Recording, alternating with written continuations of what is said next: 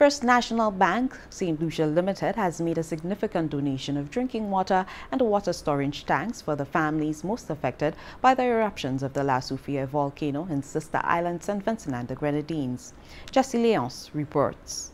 A total of 2,000 cases of drinking water plus 5,800 water storage tanks were placed on boats and shipped along with other relief supplies to the residents that were displaced from their homes and also for general distribution where the supplies were most needed.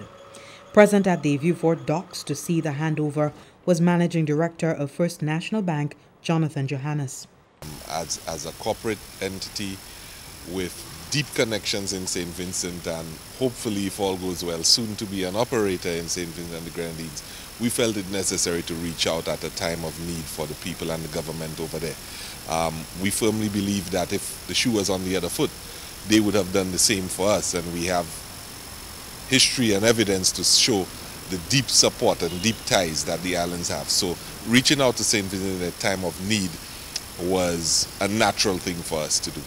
Director of NEMO St. Vincent and the Grenadines, Michelle Forbes, received the items on behalf of the government and people of that country.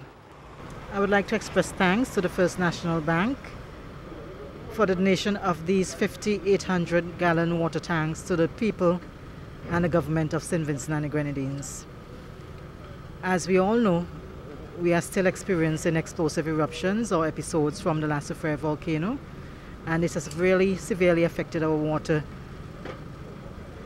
distribution throughout the country. These water tanks will go a long way in supporting not just NEMO, but the agencies that belong to, on, to NEMO in St. Vincent and the Grenadines.